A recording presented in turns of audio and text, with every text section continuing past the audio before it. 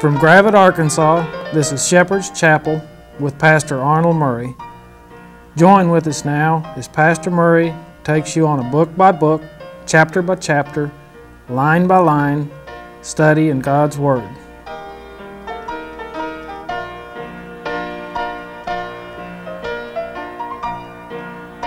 Now, here's Pastor Murray. All right, good day to you. God bless you. Well, today we're going to just visit, talk a little bit, and we're going to talk about some of the subjects that end time events, what's going to happen. And, you know, it's a strange thing. I kind of, I had a little moment this past weekend, and I listened to television a little bit. Uh, even tuned into one program where they had three doctors. And it was so ridiculous. The things they were teaching, blind leading the blind. Let me tell you something. Just because some character writes a book, doth a Bible scholar not make. All right? There's only one way you can be a student of God's Word, and that's to know how to study His Word. So I just felt that first opportunity I had, we were going to talk about two of the main deceptions of the end times.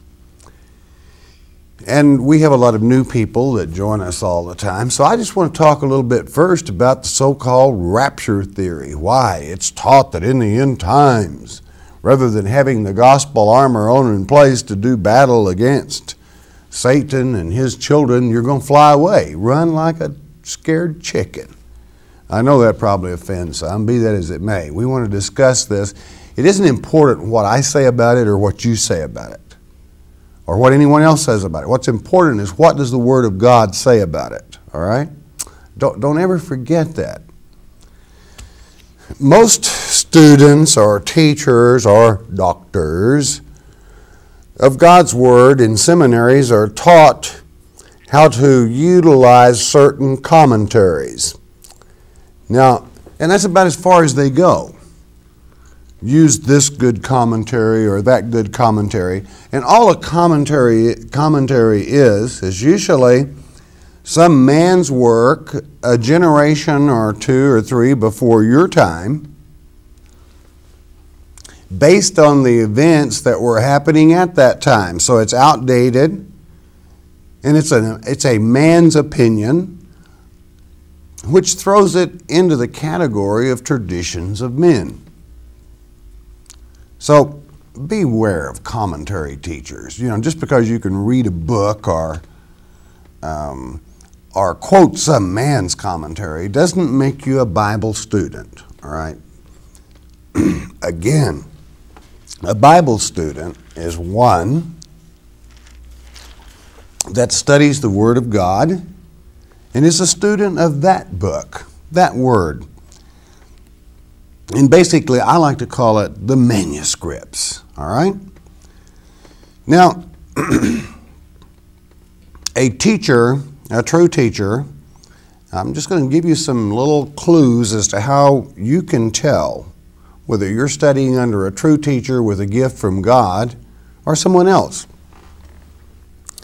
A true teacher will teach you how to think and study for yourself. A true teacher will recommend to you the tools that you will need. Let's say that if you're only an English speaking person, that will have the ability to break, say, the King James back to the original languages, that's to say, Hebrew or Greek.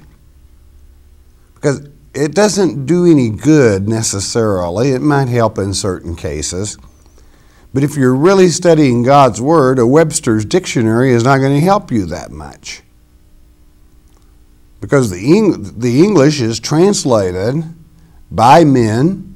It is for this reason that we keep uh, copies of the original King James 1611 because it has within it, even before you get to the scriptures, a letter to you, the reader, by the translators. They, they have a message there. In other words, the translators that translated the good old King James from the Greek, the Hebrew and the Chaldee, wrote you a letter that they felt was very important. It's quite a lengthy letter to warn you of the very same things I'm warning you of now, to helping you to think. Just stop and think a moment. God's word was given in those languages. And you have to basically go to those languages, especially in the critical points, before you're going to understand. Now, secondly, one of the most important things to learn and to think about is to rightly divide the word. What does that mean? Always be aware of who it is written to, the particular book or chapter or verse or whatever the subject and the object, who's being discussed. What time frame was it given in? Was this a type of something that would be in the end times or is it literal? It, it does not take a great deal of time to be very efficient in growing skilled in those departments. Example, the book of James is written to the tribes scattered abroad, that's to say, the tribes of Israel. James' teaching having to do with what the tribe's obligations and duties would be in the relationship with Jesus Christ. So, to be able to rightly divide the word, you know, you know one of the main reasons that I really like all my students to have the companion Bible and yes, it, the Bible, the price of the Bible helps bring us to you on the air, but that's not the main reason. The main reason is that it teaches you how to outline the scriptures. In other words, to make an outline whereby you realize who all the theys and thems and so forth, and what subjects pertain to it, it is important if you intend to make an intelligent study of God's Word, and that's the way you're going to build your faith, is to recognize again it doesn't come from some man, it doesn't come from some commentary. The truth comes from the Word of God, and it's what it says that is important. Now, let's talk about the so called rapture theory. All right? And you for yourself must decide. This is not done to offend anyone, but to cause you to look for yourself. To, in other words, I suppose we're covering a very basic subject, but I want to show you how to study. Greek and Hebrew are what I call a fixed language. In other words, almost every generation English has many words that take on a total different meaning. Uh, such as bebop and and uh, rap and uh, many other things that, and sometimes we even change not bad to good and good to bad. I'm saying in in in generation um, way of expressing themselves. English is not a fixed language, but the Greek is.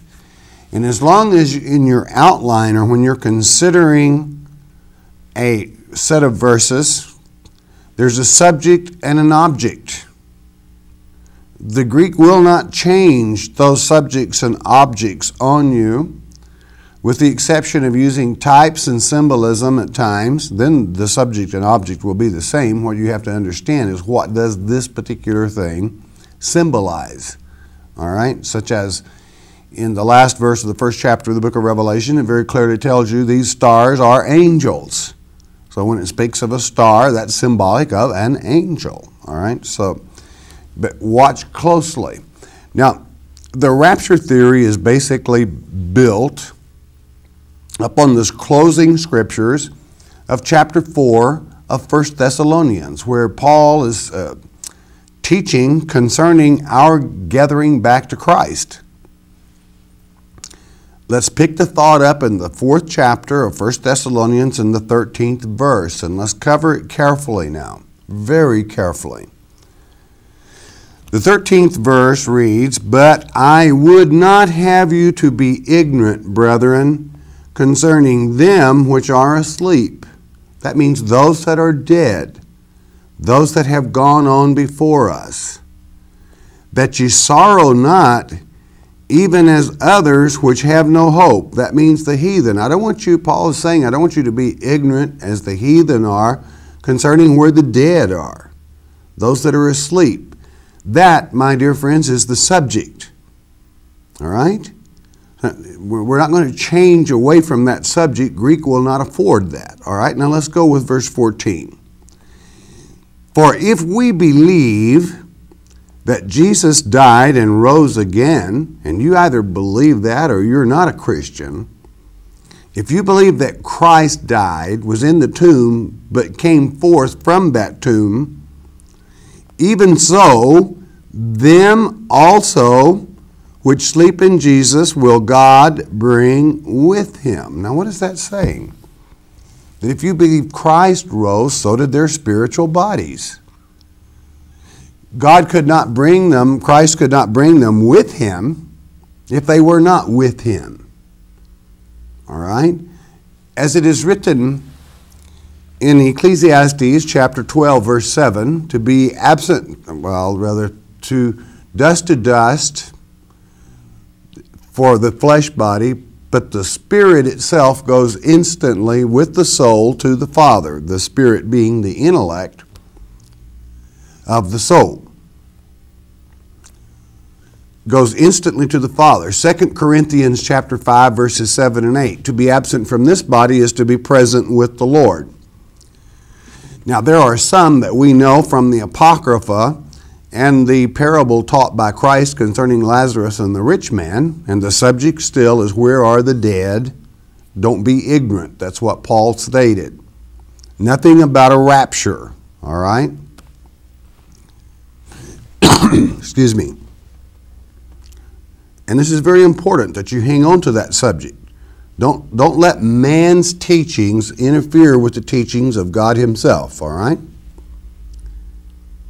And we know from that uh, parable of Lazarus and the rich man that there was a gulf between, even in paradise, where some of these souls were in holding for judgment to hell. And I know in the parable it is spoken of as he is in hell. Well, in a way, he is mentally. The lake of fire does not come into being until the last day of the millennium. Verse 15 For this we say unto you by the word of God. Now, this is not some man's traditions, it's not some Bible commentary. It is this we say to you by the word of God that we which are alive, that's you, and remain unto the coming of the Lord shall not, I repeat, shall not prevent them which are asleep. Why? Don't be ignorant about it. We cannot prevent them because they're already with him. It means we can in no wise precede them, is what the Greek says, because they're already with him. They're not going to be raised to him, they already have been.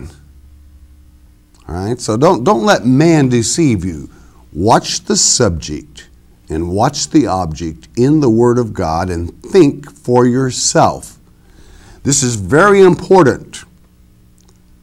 And I will explain why in the closing um, minutes of this lecture, why it is extremely important that you understand these scriptures and be not ignorant as the heathen are as to where the dead are. They're already with him. We in no ways, it is stated in this verse, can precede them. Why? It's obvious. They're already there. If you believe Christ rose, you better believe they did too, all right? Verse 16 For the Lord himself shall descend from heaven with a shout, with the voice of the archangel, and with the trump of God. That's the seventh trump, and the voice of the seventh angel mentioned in Revelation, what, about 714 and the dead in Christ shall rise first after a colon. All right? Simply recapping the thought, the dead will rise first. Why? Because they're already there. And we which are alive, Paul covers this more in depth in 1 Corinthians chapter 15, beginning with verse 52. In an instant, at the last trump and only at the last trump does the change come. All right? Now listen carefully. It is important that you spend 20 bucks. What is that compared to the price of your soul? And, and $30, whatever, and pick up a Strong's Concordance. Don't take a substitute. Don't take a Young's. Don't take some other piece of junk. Get a Strong's exhaustive concordance whereby you, as an English speaking person, can break it back to the languages whereby you can understand what these scriptures say in the Greek. Don't go get a Webster's, that will not help you in this case. What you need to know is what did the original manuscript say in the Greek or Hebrew. All right? Now, so what did he say there? At the seventh trump, at the shout of, of that uh, seventh angel, we that are alive and remain, we're going to see Christ returning to this earth, and not until, all right? Verse 17, then we which are alive and remain shall be caught up together. Now, this is where the so called rapture doctrine comes from. This is at the seventh trump, at the last trump, we will be caught up what? From the flesh, sinning flesh, together with them in the clouds, which simply as clouds as Paul spoke colloquial Greek. You might call it street Greek. To him, this meant a large group, like a covey of quail, a cloud of quail. There was a whole cloud of grasshoppers out there. All right? To meet the Lord in the air, and so shall we ever be with the Lord. And it is true, when the Lord returns, He's here forever. He will be on this earth forever. At the seventh trump, and the seventh trump only, don't let some joker have you paid strict attention to the subject and the object. Paul saying, Are you ignorant as to where the dead are? All he has said is they're already with Christ. And when he returns, we're going to be changed into and meet him in the air. There's just one big problem with this word air here, and it's important that you have a Strong's Concordance to check it out in the Greek. Air. Do you know what it is? It's the breath. Your breath body, ruach in the Hebrew, or pneuma in the uh, Greek, meaning your spirit body. In other words, in an instant, you're going to be changed from the flesh into a spiritual body. The breath of life that God breathed into the flesh shall be in its own breath body. That's all it means. That we will be changed exactly as it is written by this same teacher, Paul, in 1 Corinthians chapter 15, verse 52, 3, and 4. That instantly we're changed into that incorruptible body. He spends half of the chapter teaching that you should not be ignorant again as to the two bodies of man, the dualism, the flesh body and the spiritual body. Let's continue. Verse 18 Wherefore comfort one another with these words. They should be a comfort to you. That God's elect, as it is written in Mark 13, will stand against the false Messiah.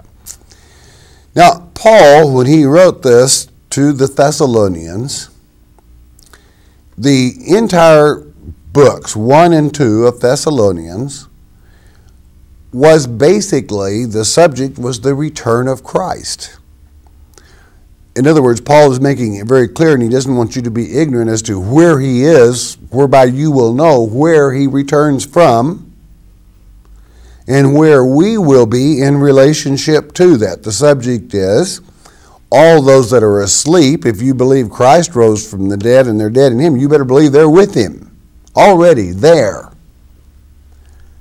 And that when He returns at the seventh trump, as it is written in 1 Corinthians 15 52, we're going to join them right here in the breath of life, the air body, spiritual body, in other words.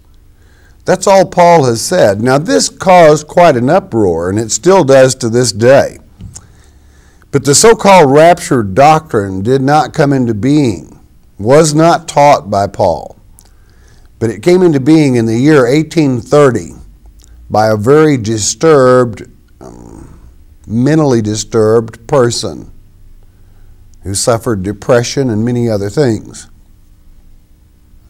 And naturally, there were two preachers standing by, and boy, they grabbed onto it. The next thing you know, you got the any moment now doctrine. But very specifically, I'm going to show you why the rapture doctrine is extremely dangerous. Paul knew it was dangerous, and that's why he wrote the second letter to the Thessalonians because they misunderstood the first letter, as most do today when they follow commentaries or the teachings of other men, the traditions of men. Let's go to Second Thessalonians chapter 2. Now, I'm going to go a little more into depth than we've ever gone before in this. It is your way of teaching this also. So just relax with me and let it flow. Why is the rapture doctrine dangerous? Let's find out. Chapter 2 of Second Thessalonians, verse 1. Now we beseech you. Do you know what that states in the Greek? I really want to talk something over very serious with you. Brethren, by the coming of our Lord Jesus Christ. In other words, I want to talk to you about the return or the coming, the second advent of the Lord Jesus Christ, and by our gathering together unto Him, as to how we are going to gather back to Him, picking up this thought from 1 Thessalonians, the first letter in chapter 4 about where Christ is, when we're getting going to be back with him, when he comes, seventh trump, meet him in the air, spiritual body, in a large cloud of witnesses. All right? So he's, he's picking that thought up again. That's what the subject will be is when this takes place. What will be happening on this earth at that time. Okay? Verse 2 that you be not soon shaken in mind. In other words, don't let some man or some teacher shake you up or be troubled. I don't want you worrying about it. Neither by spirit, don't let some spirit, evil or otherwise, tell you different, nor by word, that's to say, some man's word nor by a letter as from us, not by that first Thessalonians letter. Don't let that trouble you about our getting back together with Yeshua Messiah, Jesus the Christ. Nor by letter as from us, as that the day of the Christ is at hand. In other words, I don't I want to make this clear because it's apparent that it upsets some of you. Boy, does it still to this day a very dangerous thing. Boy, does Satan take advantage of it. Why is it dangerous? Listen. In other words, make, now let's, let's get our thoughts back. Paul's saying, I want to talk very serious to you about our gathering back together with the Lord Jesus Christ. I don't want you to let that first letter I wrote you, some spirit, some person, some word, convince you of any other thing. Verse 3 Let no man deceive you. Now, the deception of the end times is very critical to those that are still here. Let no man deceive you by any means, for that day shall not come. That's to say, our gathering back in that air body with Christ, except there come a falling away first, and that man of sin be revealed the son of perdition. Now, that, that really, it's cut and dried then. The subject then becomes the man of sin, the son of perdition. Who is who? You know, there is only one entity that Almighty God has already sentenced to perish. It does not take a Bible scholar to figure that out. You know where it is. 28th chapter of Ezekiel. It's the king of Tyre, which is to say, the, the cherub that covereth Satan. Right? The false rock. That's what Tyrus means in the Hebrew tongue, is the false rock. Or at least in that particular case, it does. What has he said then?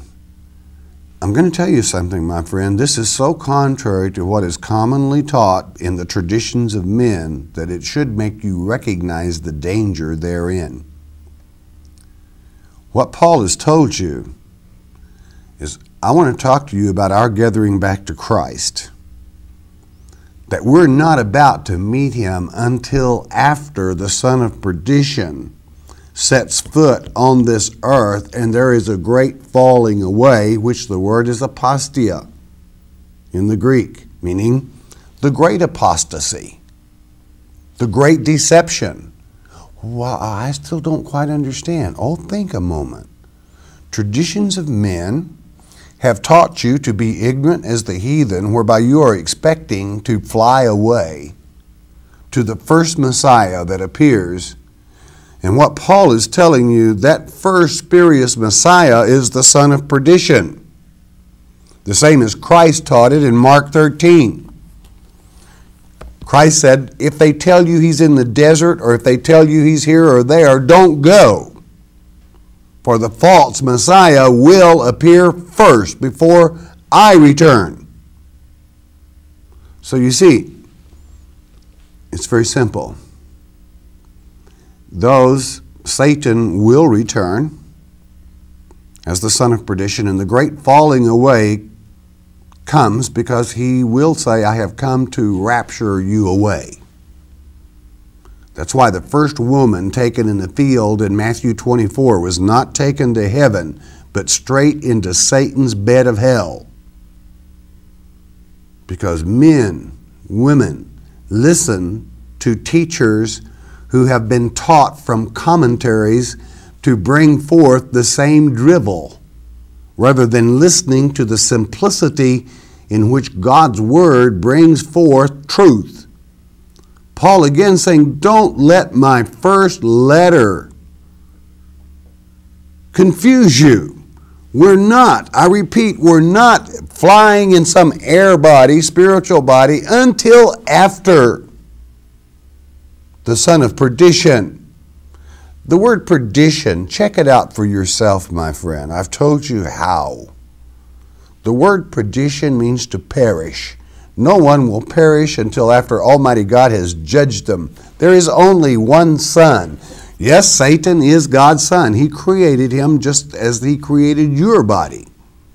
That is clarified in Ezekiel chapter 28 in the day that I created you Thou wast full of wisdom, so on and so forth. God loved him very much. And then he fell because of pride within himself. He's coming. What's he going to do after he gets here? Verse 4 Who opposeth and exalteth himself above all that is called God or that is worshipped so that he, as God, in other words, he will pretend to be God, the Christ, sitteth in the temple of God, showing himself that he is God. This is why Jesus said, when you see that abomination spoken of by Daniel the prophet, that being this Satan sitting in God's own seat, that's what he wanted in the heavens. He's going to take it here on earth, right on the Mount of, of um, uh, Mount Zion, right at the temple, claiming to be God and performing miracles as it is written in Revelation 13. At the snap of a finger, lightning coming from heaven. You think people looking for their so called flyaway will not jump on board? You bet they will. Do I rejoice in that? No, I weep in that. That the simplicity the warnings by Paul I don't want you to be ignorant like the heathen concerning our getting back to Christ. I would people would rather listen to some commentary peddler. Verse 5. Remember ye not that when I was with you I told you these things? They talked about it in detail as they sit around the fires at night. Verse 6 and now ye know what withholdeth that he might be revealed in his time. My friends, it is very important that you know how to reveal him in his time, whereby you don't worship him, because he's going to call himself God. Instead of uh, Antichrist means being properly translated instead of Jesus. He's going to be calling himself Jesus. He is a supernatural entity. He is the son of perdition. Now listen carefully. For the mystery of iniquity, that's lawlessness in the Greek, doth already work. Only he who now letteth will let until he be taken out of the way. This tells you exactly who we're discussing if you have kept up and outlined the subject and the object. Now, you will have some would be teachers that would tell you, well, don't you understand what the word let means in English? It's an old Anglo Saxon word. Hey, it doesn't matter what let means in any language except Greek. Because let is not the word involved, it's catho, katecho. And katecho is not an old Anglo Saxon, an old French, an old Latin, or any other word. It's a Greek word. It is a transitive verb, and no one, I mean no one, can deny that if they have any intelligence at all. Now, I'm sure you know what the word transitive means. It means that within itself it is a verb, but you must transfer to the subject to understand what is being said. And that's very complete. And it was done. It is known as a transitive verb to a scholar of God's Word. Now, what was the subject? The subject is Satan standing in the holy place, that's to say, on Mount Zion, where the temple of God is supposed to be, claiming to be God Himself, that is to say, Savior. That's the subject. So the verb is that He will stand there you know the mystery of iniquity, of lawlessness, do you? Well, do you know where Satan is? Well, Revelation chapter 12, verse 7 makes it very clear that he's in the heavens until Michael, who is the holding one, casts him out on earth for a little short season to sit on this temple of God claiming to be God. It's going to happen very soon.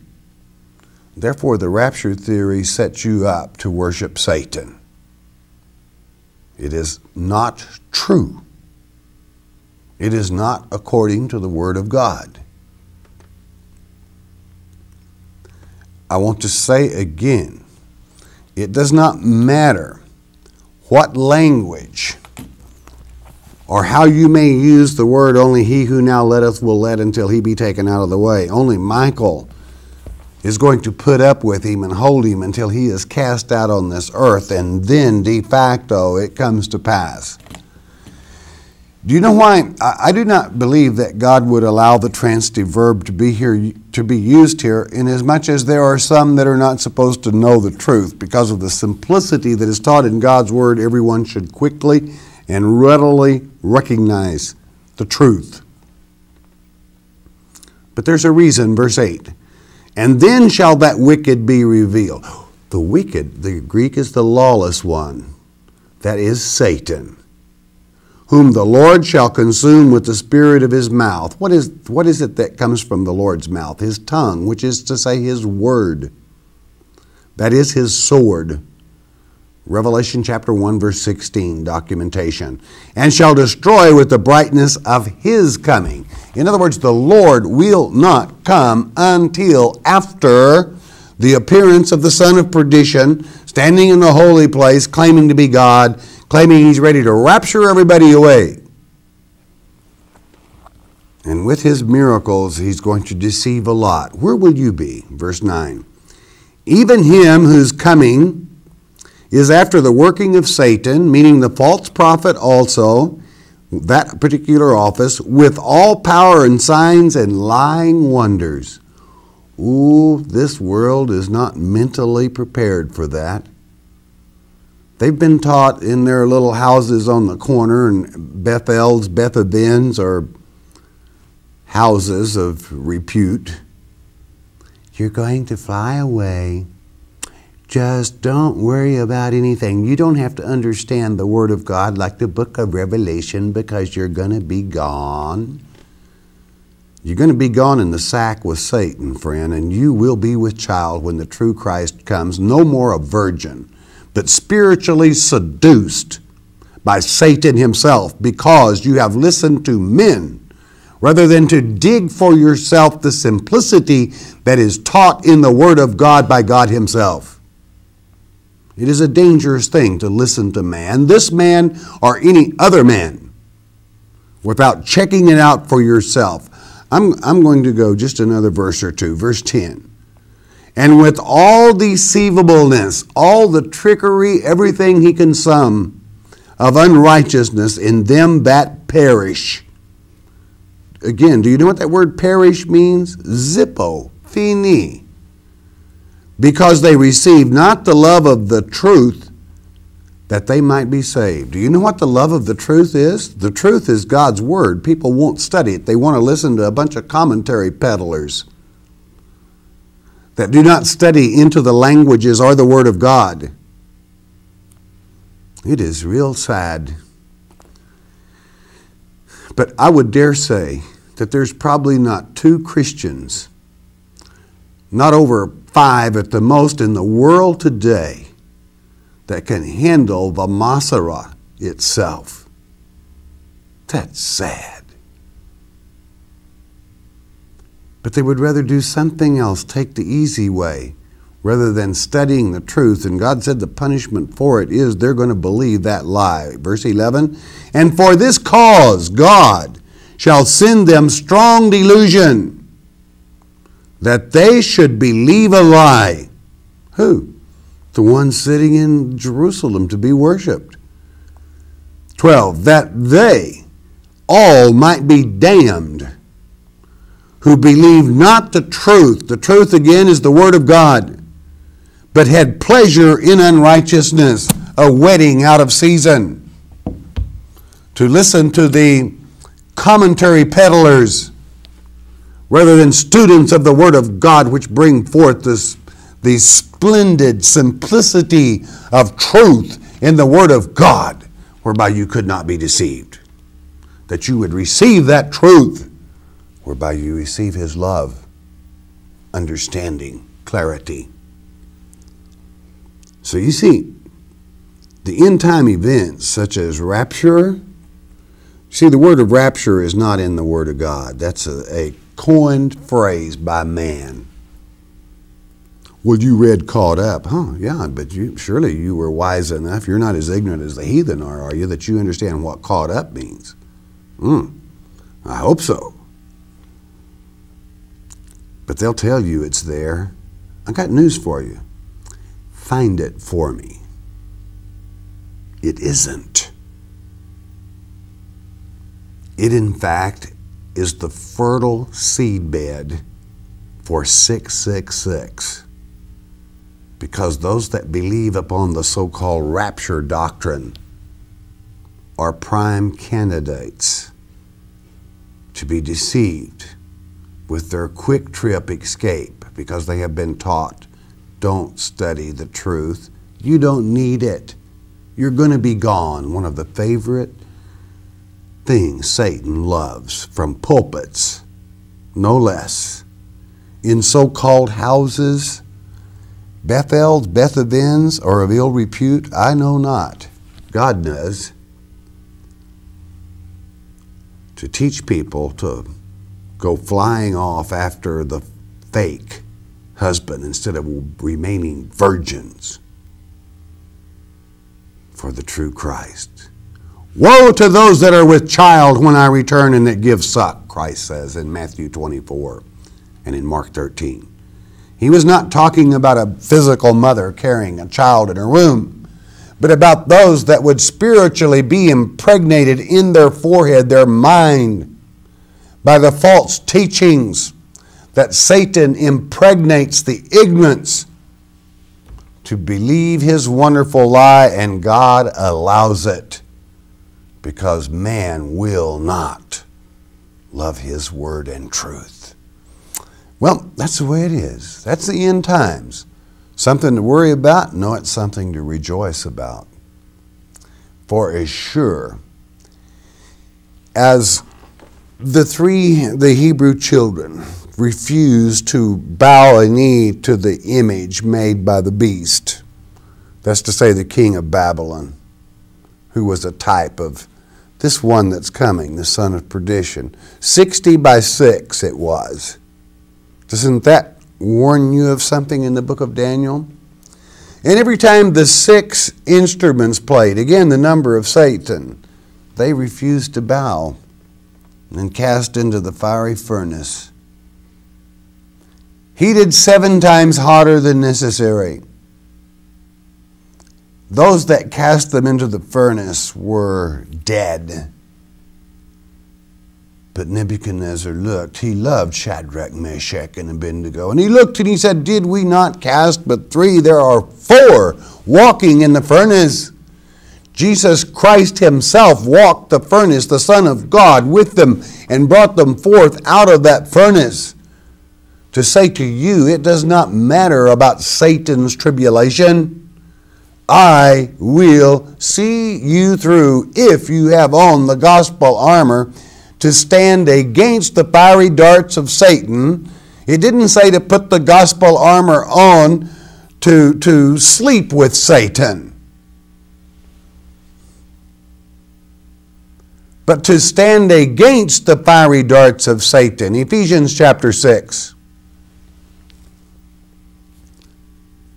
What has Christianity turned into?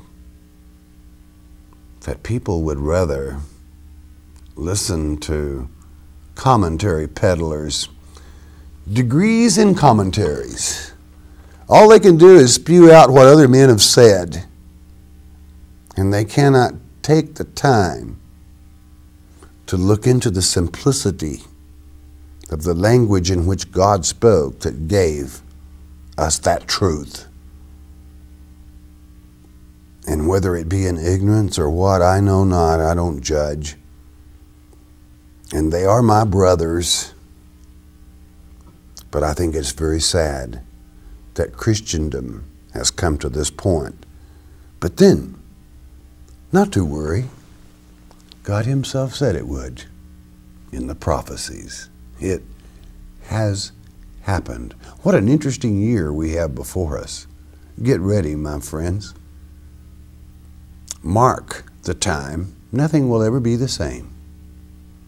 As we move into that era of the new world order and the new covenant made by our dear governor of Arkansas. I love Arkansas. I hope you all learn to be careful of the new covenant you are warned. What an interesting year. Time to rejoice. Be happy. For when you accept His truth, you will not be deceived. All right, bless your hearts. We're going to stop there a moment. Listen a moment, won't you please? Introductory package. Say, this is something we would like to offer for a one time gift to all the new folk that study with us. This introductory package gives you a monthly newsletter, which means each month you will receive a newsletter with a Bible study on it. Hey, raising funds? No way. We're not beggars. We're Bible teachers. That's what it consists of. A tape catalog that will give you all the topics that are covered. And the Mark of the Beast tape. What is this Mark of the Beast? Is it really on your forehead? No, Satan's considerably more intelligent than that. It's in your forehead, which is to say, in your mind. Have you been deceived? This is a free offer to you, one time to each new student. Say, find out what's really happening and what the story is on the mark of the beast.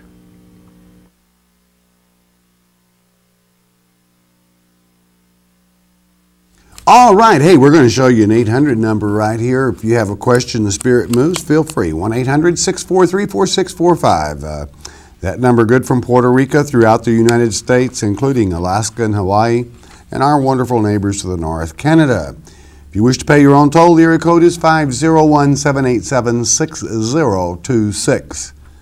Those of you that listen by shortwave, your announcer at the end of the hour will give you our mailing address. It's always a pleasure to hear from you. If you have a prayer request, take it straight to our Father. He's very active every day. He's active 24 hours a day. You're never alone. He really likes to hear from you. He's your Father. Father, we ask that as we come to you around this globe, that you lead, guide, direct, touch, heal in Jesus' precious name. Amen.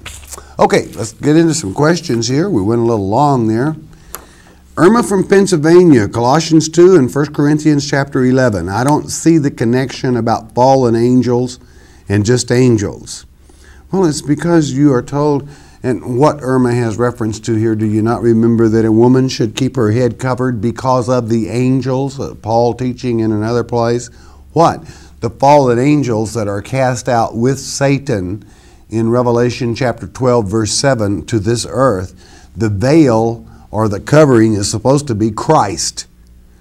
Because Christ taught in Matthew 24, it's going to be just like it was in the days of Moses. They're going to be giving and taking in marriage with the fallen angels. So, the only angels that women have to be afraid of is the fallen angels. Napha is the prime root in the Hebrew, being fallen. Okay? Again, subject and object, Irma. Let it flow, all right? Okay, Michael from Missouri. Is the, is the crossing of Israel over the Jordan River into the Promised Land a type of the end times? If so, is Deuteronomy 31 2 an indication that the generation of the fig tree, Matthew 24 34, and Jeremiah 24, is a 120 year generation? Well, it is true that in Deuteronomy 31 2 that it does state that Moses was 120 years his old, his, his generation finished. It was very interesting. He was 40 years in Egypt, and then he was 40 years away from that, and then at the end of 40, 40 years in the wilderness, and then he, he uh, passed. Interesting. Uh, we'll see. Watch the times. That's the main thing. Good suggestion. Another question Cain went, went into the land of Nod, which is possibly now a part of Mongolia. Well, I teach that it is. Could the title Khan, used in the dynasties of Mongolian history, be derived from Kayan? Or is Khan just another word for king? Well, it's another word for king, all right, but have you, have you not studied the, uh, the work, the 13th tribe? There it's very interesting that as you watch the migrations of these, the Kenite, you find that they had a king that they called King Cain. The only difference is they used a J instead of a Y in spelling, which doesn't matter, all right? No J there. All right? King Cain. Yeah, I, I, have no doubt there is a connection, but um, uh, if you were to take the World Book Encyclopedia, the huge dictionary, it will tell you that uh, in the Near East you would find uh, the Kenite, K E N I T E, they are sons of Cain in the Hebrew tongue, being transliterated rather than translated. Viola from Texas. Was Lucifer made in God's image? Naturally, it was. All the angels were. The Elohim. Right? If not, would Cain's descendants be a mix of Satan's makeup and God's? Well, no, you won't. You won't get it that way. There was a mark, is the way you tell the difference. Don't ask me what the mark is. I won't say. Spiritual, let's call it. Satan went to the the land of Nod. No, not Satan, dear. Cain went to the land of Nod. The prior question I'll let it answer yours. Terry from Arkansas. She has evil thoughts. Is she blaspheming the Holy Spirit? No, no, no, no. the, as long as we're in the flesh body, the flesh slips up on us at times, Terry. Uh, many even have bad, what we could call bad dreams, all right? They could even be sexual. Um, you're, you're not responsible really when your soul is resting, that is to say, when your spirit, your intellect is asleep, and the flesh through the central nervous system begins to speak it's not really the you that is accountable, all right? I understand what I mean by that, and I probably should not have used it. Your spiritual self, soul, is accountable because it is supposed to control the flesh. But while it is asleep, it doesn't necessarily have that much control over the flesh. So just if it makes you feel better, repent and ignore it. Don't worry about it. Put it out of your mind. Betty from Maryland the, incidentally, blaspheming the Holy Spirit is to refuse, as it is written in Luke chapter 12, verse 10, to allow the Holy Spirit to speak to you when you're delivered up before the synagogue of Satan, which is to say that son of perdition throne, where he by he will try to convert you, that Christ himself will speak through you, and that way the truth will be published to the word. Some of you have a destiny, and you've known it since you were a child. You've known there was more to God's Word than you've been taught. Wake up. All right. Betty from Maryland. Hebrews 9:27 appointed for all men once to die. How does this apply to Lazarus? Would he have to be judged twice? No, it was a miracle. Christ used that as an example to, to document that he had power over life and death. It was a miracle. You cannot. Uh, do you not believe the miracle? You see, because uh, it would still, Lazarus has one soul, one judgment, all right? But it was a miracle to, to document that Christ had power over death. Wayne from Kentucky. Who are the beheaded people mentioned in Revelation 24? Well, the Christians during the Roman rule, Caesar's rule, those that were beheaded for in the name of Christ, many of them were, as well as those that will stand against Antichrist. Antichrist is sitting on the throne as God. He won't be killing people, all right, necessarily, other than the two witnesses. Deborah from Pennsylvania. How can you tell if you are a, a first fruit, elect, chosen, or called child of our Father? Well, if you are able to hear the truth, it's just automatic. For as it is written in Romans 11, those that are not supposed to hear, they have been given the spirit of stupor or slumber by God so that they can't, whereby they're not accountable. Yvonne from Wisconsin, why is it so hard for me to give up drugs and drinking? Well, it's kind of like the lady that was saying that she had the bad thoughts. You got to talk to your flesh, okay? Your flesh is hooked on it. Talk to it. It'll and take charge. All right.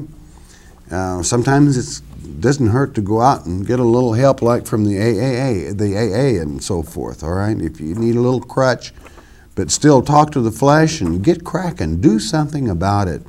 You're a daughter of the living God, and He has a purpose for you, or a son. I think, well, I'm going to say uh, you're a daughter of God. Okay, Jim from Minnesota. Was Adam put here to replenish the earth? Yes, he was.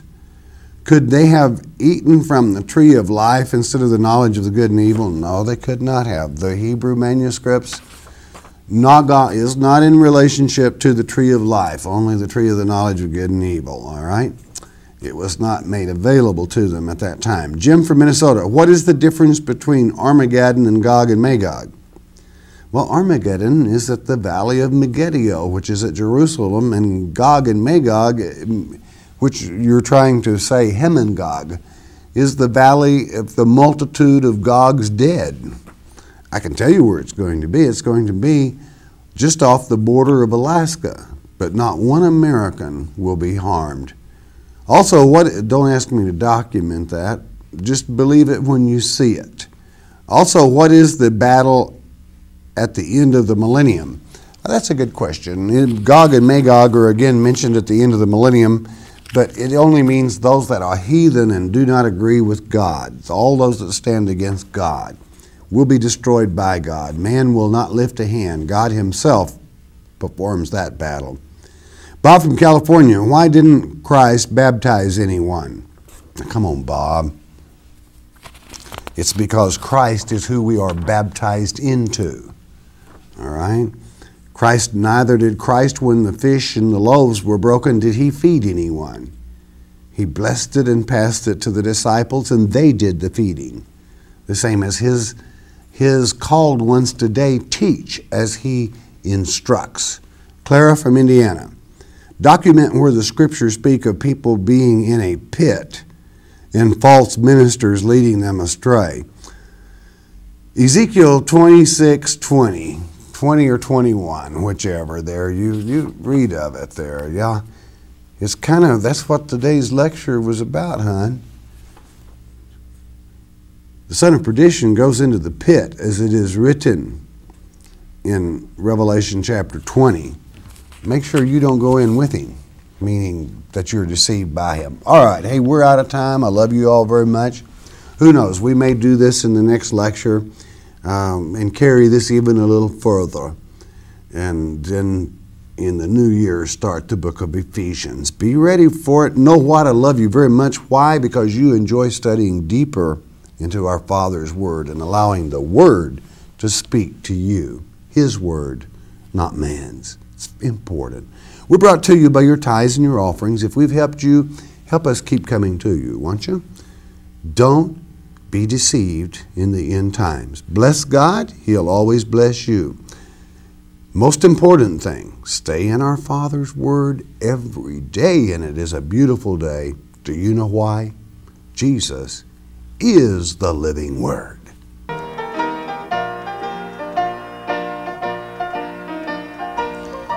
Thank you for joining Shepherd's Chapel in today's study of God's Word.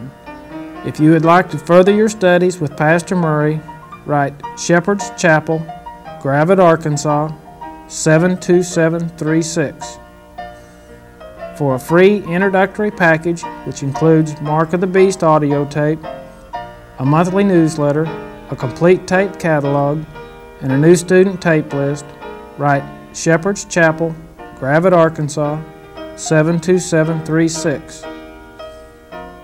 Feel free to call 800 643 4645 24 hours a day to request the free introductory package or to leave questions for Pastor Murray to answer on the air. We at Shepherd's Chapel would like to thank you for joining us each Monday through Friday at this same time for Shepherd's Chapel.